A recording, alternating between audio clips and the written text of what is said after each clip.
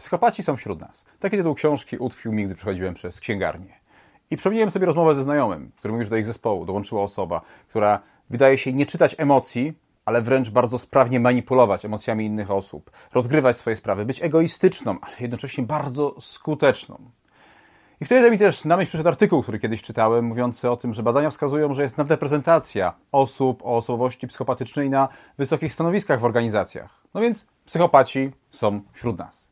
Jak sobie z tym radzić? No, pierwszym odruchem jest pozbyć się ich. No, tak łatwo się nie pozbędziemy. No, nie pozbędziemy się z naszego świata pracy czy życia prywatnego osób, które nam nie pasują albo które żyją innymi kategoriami niż my żyjemy. Więc przede wszystkim zadbajmy o swoje bezpieczeństwo, czyli stare, dobre zasady asertywności.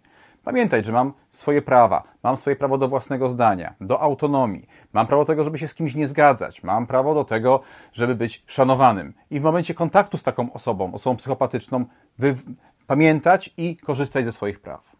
Co więcej, jeżeli ta osoba przekracza te normy życia w naszej organizacji, któreśmy uznali jako nasze wspólne albo wręcz są skodyfikowane, to przy każdym takim przekroczeniu dawać znać swojemu przełożonemu. Bo prędzej czy później taki psychopata, który przekracza te normy, przekroczy je poważnie, potknie się i dobrze przy potknięciu wyszły też informacje o tym, że już wcześniej były sygnały, żeby tej osobie się to nie upiekło. Czyli reasumując, psychopaci są wśród nas, więc brońmy się, używajmy zasad asertywności i zgłaszajmy, jeżeli widzimy, że komuś się dzieje krzywda, że jest mobbing, że jest przemoc.